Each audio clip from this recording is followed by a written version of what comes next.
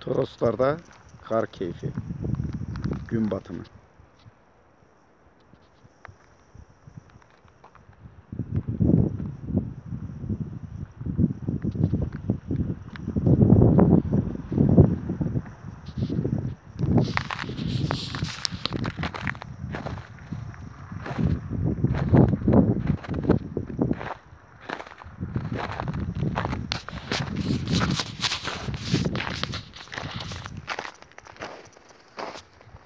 Karda yürümek güzel.